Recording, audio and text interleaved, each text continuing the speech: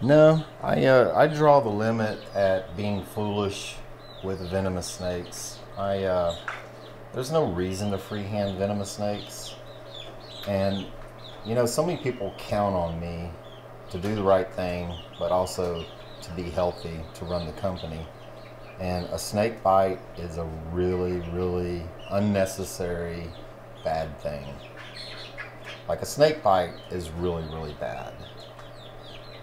You're incapacitated.